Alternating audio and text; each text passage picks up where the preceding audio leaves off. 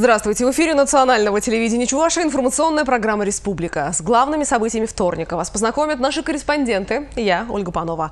Вот главные темы выпуска. Интеллектуальная собственность как объект товарооборота. Премьер-министр Дмитрий Медведев провел в Чувашии заседание Президиума Совета по модернизации экономики. Равняясь смирно, кадеты Чувашии приняли первую присягу. Легко ли быть добрым? Сегодня во всем мире отмечается День спонтанного проявления доброты. Сегодня в Чувашии с рабочим визитом побывали руководители ряда федеральных министерств, ведомств, государственных корпораций, главы некоторых регионов, полномочный представитель президента России в Приволжском федеральном округе Михаил Бабич. Все они приехали в Новочебоксарск на заседание Президиума Совета при президенте страны по модернизации экономики и инновационному развитию, которое провел премьер-министр Дмитрий Медведев. На повестке дня один вопрос – реализация государственной политики в области интеллектуальной собственности. Тему продолжим продолжит Елена Гальперина. Интеллектуальная собственность как объект товарооборота во всем мире становится все более востребованной. Век технологий спрос на научные разработки опережает предложение. Кроме того, это очень дорогой продукт. И зачастую его не покупают, а крадут или присваивают. Поэтому интеллектуальная собственность нуждается в правовой защите. Почему-то считается, что в этом плане Россия не особенно преуспела. На фоне вступления в ВТО эти разговоры звучали громче. У нас существует вполне современная система охраны, то есть современное законодательство, которое не только было создано в определенный период, но и совершенствуется и развивается. Я напомню, что с 1 октября 2014 года вступили в силу изменения в четвертую часть Гражданского кодекса. А, уточнен был порядок распоряжения исключительными правами, более а, полно, ну и более тонко урегулированы отношения между правообладателями и пользователями. А, введены некоторые другие Э, институты. Большая часть э, работы проделана в рамках э, ряда поручений, которые давались и президентом, и правительством, включая вопросы коммерциализации интеллектуальной собственности. Однако и нам есть над чем работать. Премьер-министр отметил крайне низкое количество международных охранных документов на отечественные разработки. По количеству национальных патентных заявок мы находимся на седьмом месте в мире, а по международным – на 25-м. Импорт интеллектуальной собственности в 11 раз превышает экспорт. Поскольку интеллектуальная собственность имеет непосредственное отношение ко всем инновациям, а именно на них делают ставку регионы, заседание Совета решили провести в одном из субъектов поближе к реальной ситуации. Чувашия, по мнению участников, выбрана не случайно. Здесь очень существенный прогресс произошел в развитии технологического производства. Э, лет 10, наверное, если не больше, здесь не был. Вот э, сегодня я чрезвычайно впечатлен, так сказать, произошедшими за это время э, развитием и изменениями.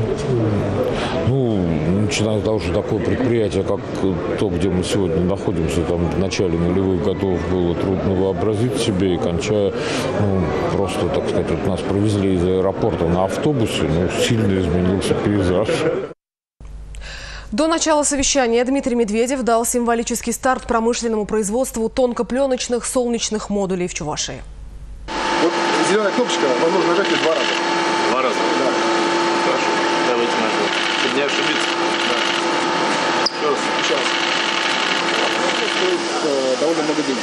Поэтому Предприятие по производству солнечных модулей стало строиться в республике в 2009 году. Именно тогда на уровне правительства России было принято решение включить Новочебоксарск в комплексный инвестиционный план модернизации моногородов. Дмитрию Медведеву детально рассказали об уникальных нанотехнологиях, с помощью которых создаются солнечные батареи. На одной территории сосредоточен полный цикл создания – от проектирования до конечного продукта. Это на самом деле типичная практика в мире потому что так получается, а, дешевле, б, быстрее. Специализированная организация, которая да. за всеми партиями. С точки зрения проектирования, а, строительства, найма подрядчиков, охраны, у нас нет генподрядчика, мы сами являемся генподрядчиком. За счет этого мы экономим примерно 30% стоимости. Плюс к этому у нас есть а, целый кластер, который занимается научными разработками. Потому что отрасль, в которой мы работаем, она за последние 7 лет выросла в 15 раз в размерах, и себестоимость всего, что производится, упала в 5 раз. На проектную мощность 800 тысяч солнечных модулей в год завод планирует выйти во втором квартале этого года. Напомним, что основным инвестором проекта стала группа компании «Ренова». Подобные объекты она строит по всей России.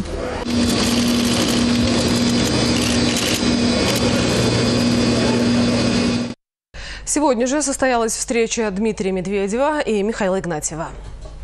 Добрый день. Привет. Мы посмотрели с вами хорошее производство, которое открыто в Новочебоксарске. Э, Реально абсолютно современное. Надеюсь, что у него будет хорошее использование и на территории республики, и на территории страны всей, и за ее пределами, в смысле экспортное использование, потому что это передовые технологии, причем которые не останавливаются, а развиваются. Но, понятно, жизнь состоит не только из открытия новых производств, Председателя правительства интересовало социально-экономическое развитие республики. Какова ситуация на рынке труда и насколько активно строятся в регионе детские дошкольные учреждения. Общеизвестно, что в этом году завершается реализация партийного проекта «Единой России. Детские сады детям». И главы регионов должны это отчетливо понимать, сказал Дмитрий Медведев. Михаил Игнатьев сообщил некоторые показатели, характеризующие республику как динамично развивающийся регион. По прошлому году у нас макроэкономические показатели неплохие. Индекс физического объема промышленного производства составил 104,5%, вы видите. Вот жилья составил 103%. Глава республики сообщил премьер-министру, что на этот год перед строительными организациями поставлена амбициозная задача – сдать 1 миллион квадратных метров, сделав упор на строительство жилья эконом-класса. проезжали, смотрели, там большие стройки, потому что э, массивы новые строятся. Михаил Игнатьев поблагодарил Дмитрия Медведева за помощь, оказанную Новочебоксарску. Войдя в федеральную программу поддержки моногородов, руководству удалось создать несколько новых производств. Уровень безработицы в Новочебоксарске сократился с 9,5% до полпроцента. Здесь начал развиваться лучше в динамике средний бизнес, малый бизнес. Потом открылись ряд производств индустриальных, домостроительный комбинат заработал. Дмитрий Медведев попросил обратить внимание на ситуацию на ипотечном рынке и сказал, что на уровне российского правительства рассматриваются возможные варианты субсидирования.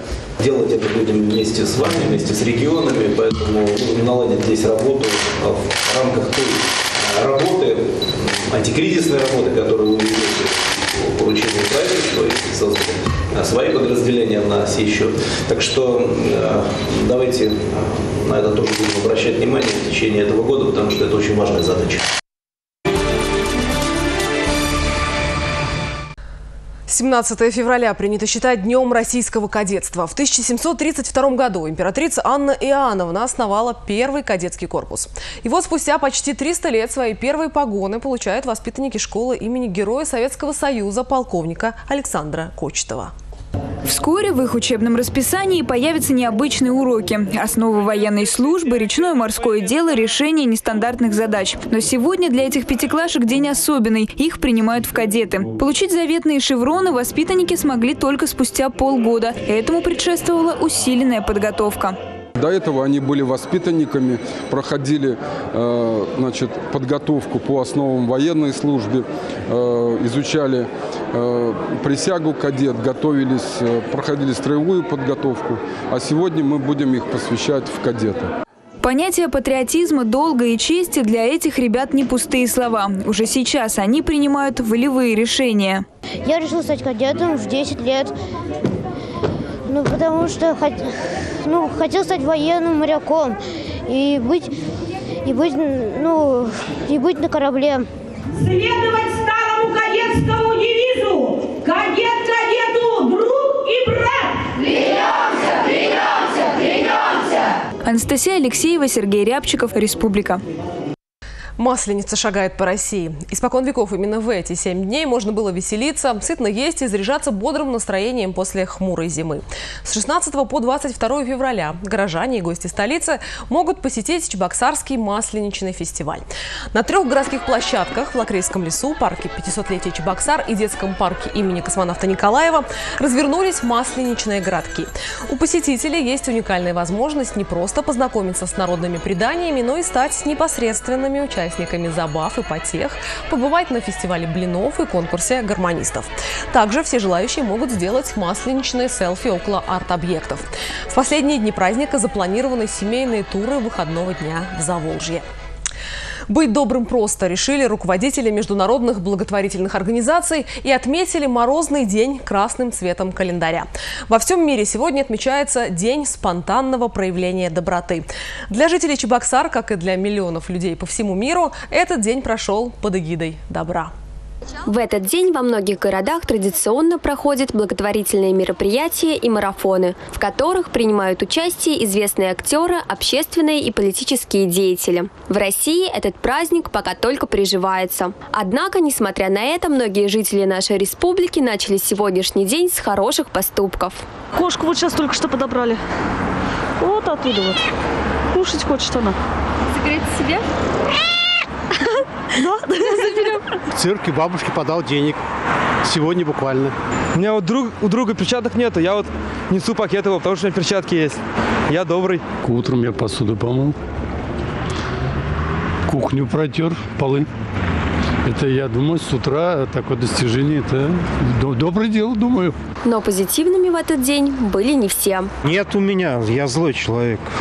Ли дело в дне доброты, то ли действительно ничто человеческое нам не чуждо. Все же чаще на улице нам попадались светлые и отзывчивые люди. Старушку посадила в маршрутке. Сегодня бабушку через дорогу перевел. Помог человек, который э, ушел в кювет на машине. Я его тоже вытаскивал. И, в принципе, больше нет. Неделя только началась. Держи. Спасибо. Помните, если вы ожидаете благодарности за свой добрый поступок, это не может считаться истинной добротой. В этот день, как призывают организаторы, надо быть добрым во всем. И не просто добрым, а добрым безгранично и бескорыстно.